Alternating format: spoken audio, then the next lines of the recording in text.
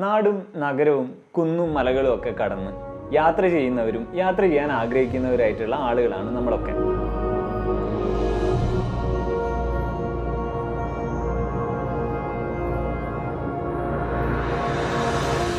ഒരു യാത്ര കഴിഞ്ഞ് തിരിച്ചെത്തുമ്പം ആ യാത്ര നൽകിയ അനുഭവങ്ങളും ഓർമ്മകളും കൂടാതെ നമ്മളെടുത്ത ഫോട്ടോഗ്രാഫുകളാണ് അവസാനം ബാക്കിയാവുന്നത്. കുറെ കാലങ്ങൾ കഴിയുമ്പോൾ നമ്മൾ അന്ന് ആ യാത്രയിലെടുത്ത ഫോട്ടോഗ്രാഫുകളായിരിക്കും നമ്മളെ തിരികെ ആ ഓർമ്മകളിലേക്ക് കൊണ്ടുപോകുന്നത്. അടുത്ത തവണ നിങ്ങളൊരു യാത്ര പോകുന്ന സമയത്ത് മറ്റൊരു നാട്ടിൽ പോകുന്ന സമയത്ത് തികച്ചും വ്യത്യസ്തമായിട്ട് ചിത്രങ്ങൾ എടുക്കാൻ നിങ്ങളെ തീർച്ചയായിട്ടും ഹെൽപ്പ് ചെയ്യുന്ന ചില ഫോട്ടോഗ്രാഫി ടെക്നിക്കുകൾ നമുക്ക് പരിചയപ്പെടാം.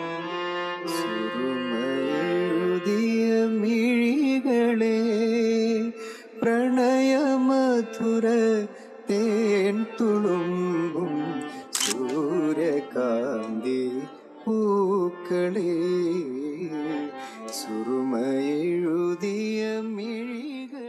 റിസർച്ച് ഒരു യാത്ര പോകുന്നതിന്റെ മുന്നേ നമ്മൾ ചെയ്യേണ്ട ഹോംവർക്കാണ് റിസർച്ച് നമ്മൾ പോകാൻ ഉദ്ദേശിക്കുന്ന സ്ഥലത്തെക്കുറിച്ച് കാര്യമായിട്ട് നമ്മൾ മനസ്സിലാക്കിയിരിക്കണം.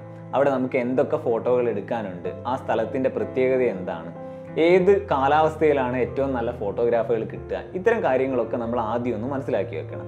മറ്റൊരു കാര്യം നമുക്ക് ചെയ്യാവുന്നത് ഇൻസ്റ്റാഗ്രാമിലൊക്കെ നമ്മൾ പോയാൽ അവിടെ നമുക്ക് ലൊക്കേഷൻ വെച്ചിട്ട് സെർച്ച് ചെയ്യാൻ പറ്റും. ആ ലൊക്കേഷനിൽ നിന്ന് എടുത്ത മികച്ച ചിത്രങ്ങൾ നമുക്ക് കാണാനും അവിടെയുള്ള ഫോട്ടോഗ്രാഫി സാധ്യതകൾ മനസ്സിലാക്കാനും പറ്റും. ഈ കാണുന്ന ചിത്രങ്ങൾ നമ്മൾ അതേപോലെ പകർത്താതെ നമ്മുടേതായിട്ടുള്ള രീതിയിൽ ക്രിയേറ്റീവായിട്ട് ആ ഫ്രെയിമുകളെ വിഷ്വലൈസ് ചെയ്യാനും അവിടെ പോയിട്ട് ബെറ്റർ ആയിട്ട് അത് പകർത്താനും ഈ ഒരു എക്സസൈസ് തീർച്ചയായിട്ടും നിങ്ങളെ ഹെൽപ്പ് ചെയ്യും. ടൈമിംഗ് നമ്മളൊരു പുതിയ നാട്ടിൽ പോയാൽ ആ നാട് ഉണരുന്നതും ഉറങ്ങുന്നതും കാണണം എന്നാണ് പറയാം. കാരണം ഒരു നാട് ഏറ്റവും ഭംഗിയായിട്ടിരിക്കുന്നത് അതിന്റെ ഉദയ സമയത്തും അസ്തമയ സമയത്തും ആയിരിക്കും. ഫോട്ടോഗ്രാഫിയിൽ നമ്മൾ ഗോൾഡൻ അവർ എന്ന് പറയുന്ന ഒരു കോൺസെപ്റ്റ് പറയാറുണ്ട്. രാവിലെയും വൈകുന്നേരവും സ്വർണ നിറത്തിലുള്ള വെളിച്ചം കിട്ടുന്ന ആ സമയം. ഈ സമയത്ത് നമ്മൾ ലാൻഡ്സ്കേപ്പുകളോ ആർക്കിടെക്ചറുകളോ അതുപോലെ തന്നെ ഈവൻ പോർട്രേറ്റ് പോലും പകർത്തുന്ന ഏറ്റവും ഭംഗിയുള്ള ചിത്രങ്ങൾ നമുക്ക് കിട്ടും. ചിലപ്പോൾ നമ്മൾ വൈകി കിടന്ന് വളരെ വൈകി എണീക്കുന്ന ആൾക്കാരായിരിക്കും. എന്നാൽ ട്രാവൽ ചെയ്യുന്ന സമയത്ത് ഈ ഗോൾഡൻ അവേഴ്സിൽ നമ്മൾ ലൊക്കേഷനിൽ ഉണ്ട് എന്നുള്ളത് ഉറപ്പുവരുത്തണം. നമ്മളൊരു ആർക്കിടെക്ചർ പകർത്താനാണ് ഉദ്ദേശിക്കുന്നതെങ്കിൽ ചിലപ്പോൾ രാവിലത്തെ സമയത്ത് ആർക്കിടെക്ചറിന്റെ പുറകിലാണ് വെളിച്ചമെങ്കിൽ നമ്മൾ അതിനനുസരിച്ച് വൈകുന്നേരം നമുക്ക് ബിൽഡിങ്ങിൽ വളരെ നല്ല രീതിയിൽ വെളിച്ചം കിട്ടുന്ന സമയത്തേക്ക് നമുക്ക് ഷൂട്ട് പ്ലാൻ ചെയ്യാൻ പറ്റും.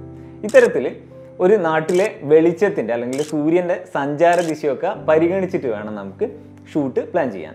ഇതിന് നമ്മളെ ഹെൽപ്പ് ചെയ്യുന്ന ഒരുപാട് ആപ്പുകൾ ഇപ്പോൾ പ്ലേ സ്റ്റോറിൽ ലഭ്യമാണ്. കയ്യിൽ എപ്പോഴും ക്യാമറ കരുതുക. നമ്മൾ ബാഗിൽ പൊതുവെ ക്യാമറ വെച്ചിട്ട് നല്ലൊരു മൊമെന്റ് വരുമ്പോൾ നമുക്ക് അന്നേരം എടുത്തിട്ട് ഫോട്ടോ എടുക്കാമെന്ന് വിചാരിക്കുന്ന ആൾക്കാരുണ്ട്. എന്നാൽ നമ്മുടെ കയ്യിൽ തന്നെ ക്യാമറ കരുതുകയാണെങ്കിൽ നമുക്ക് നല്ല മൊമെന്റുകൾ മിസ്സാവാതെ പെട്ടെന്ന് ക്യാമറ ആക്സസ് ചെയ്തിട്ട് ഫോട്ടോ എടുക്കാൻ പറ്റും. അത് മാത്രമല്ല നമ്മുടെ കയ്യിൽ പൊതുവേ ക്യാമറ ഉണ്ടെങ്കിൽ നമ്മൾ കൂടുതൽ ക്ലിക്ക് എടുക്കുകയും അതുപോലെ തന്നെ നമുക്ക് നല്ല ഫോട്ടോകൾ കിട്ടാനുള്ള സാധ്യത കൂടുകയും ചെയ്യും. അതുകൊണ്ട് എക്സ്പ്ലോർ ചെയ്യുന്ന സമയത്ത് കൈയെത്തുന്ന ദൂരത്ത് എപ്പോഴും ക്യാമറ ഉണ്ടാവും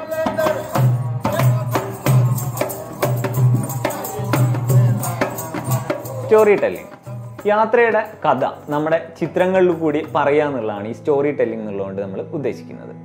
ഈ ചിത്രങ്ങൾ കാണുന്ന ആൾക്കാർക്ക് നമ്മുടെ കൂടെ തന്നെ സഞ്ചരിക്കുന്നതായിട്ടുള്ള ഒരു ഫീൽ നമ്മുടെ ചിത്രങ്ങളിലൂടെ കൊടുക്കാൻ പറ്റണം.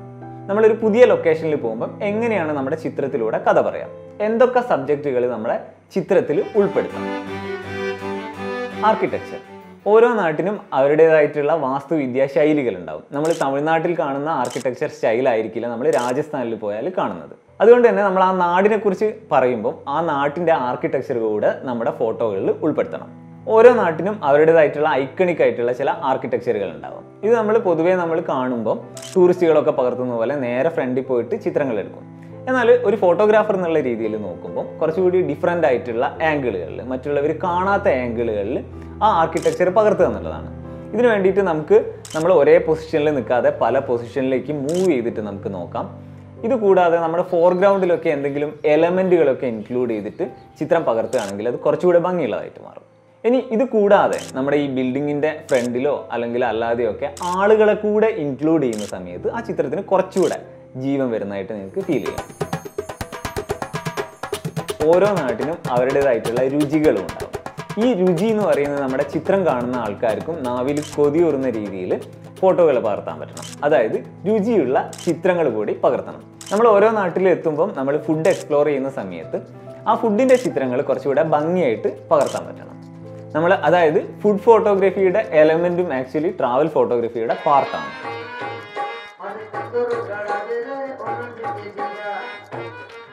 നമുക്ക് ഫോട്ടോഗ്രാഫിക്കുള്ള ഏറ്റവും ഭംഗിയുള്ള എലമെന്റുകളാണ് ആ നാട്ടിലെ ആർട്ട് മ്യൂസിക് അതുപോലെ തന്നെ ഡാൻസ് കരകൗശല വസ്തുക്കൾ ഇതൊക്കെ. അപ്പോൾ ഇത്തരത്തിലുള്ള സാധനങ്ങൾ എന്ന് പറയുന്നത് ഒരുപക്ഷെ നമ്മൾ ടൂറിസ്റ്റ് ലൊക്കേഷനിൽ ഡയറക്റ്റ് പോയാൽ ചിലപ്പോൾ നമുക്ക് കിട്ടിയെന്ന് വരില്ല. ഒരു ഫോട്ടോഗ്രാഫർ എന്നുള്ള രീതിയിൽ നമുക്ക് തപ്പി ഇത്തരം എലമെന്റുകളെ കണ്ടുപിടിക്കുകയും അതിനെ നമ്മളെ ഫോട്ടോകളിൽ ഉൾപ്പെടുത്തുകയും ചെയ്യാം. അതുകൊണ്ട് തന്നെ നമ്മൾ ഓരോ നാട്ടിൽ പോയാലും അവിടുത്തെ സാധാരണക്കാരായ ആൾക്കാരുമായിട്ട് ഇന്ററാക്ട് ചെയ്യാം. ഈ സമയത്ത് നമുക്ക് അവിടെ നടക്കുന്ന ഉത്സവങ്ങളെക്കുറിച്ചും അവിടെ നടക്കുന്ന മറ്റു കാര്യങ്ങളെക്കുറിച്ചും ഒക്കെ മനസ്സിലാക്കാനും നമ്മൾ പൊതുവേ ടൂറിസ്റ്റ് ലൊക്കേഷനിൽ കാണുന്നത് അല്ലാത്ത കാഴ്ചകളിലേക്ക് നമുക്ക് എത്തിപ്പെടാനും പറ്റും.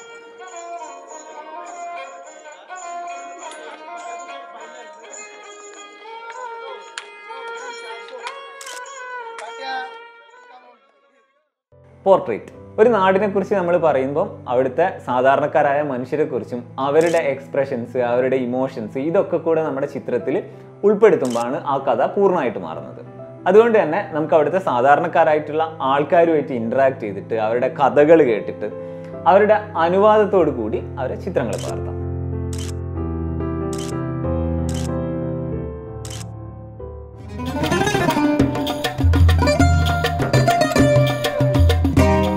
മാർക്കറ്റുകളും സ്ട്രീറ്റുകളും. ഒരു നാട്ടിലെ ഏറ്റവും ലൈവായിട്ടുള്ള ഏറ്റവും കൂടുതൽ ആളുകൾ വരുന്ന സ്ഥലങ്ങളാണ് മാർക്കറ്റും അതുപോലെ തന്നെ സ്ട്രീറ്റുകളും ഒക്കെ. ഈ സ്ഥലങ്ങളിൽ നമ്മൾ പോയി കഴിഞ്ഞാൽ ഒരു ഫോട്ടോഗ്രാഫർ എന്നുള്ള രീതിയിൽ ഏറ്റവും നല്ല ചിത്രങ്ങൾ കിട്ടാൻ സാധ്യതയുള്ള സ്ഥലങ്ങളാണ്. അവിടെ പോകുമ്പോൾ നമുക്ക് ആളുകളെ ചിത്രങ്ങൾ പകർത്താം. അതുമാത്രമല്ല അവിടുത്തെ സ്റ്റിൽ ലൈഫ് നല്ല ചിത്രങ്ങൾ കിട്ടാനുള്ള സാധ്യതയുണ്ട്.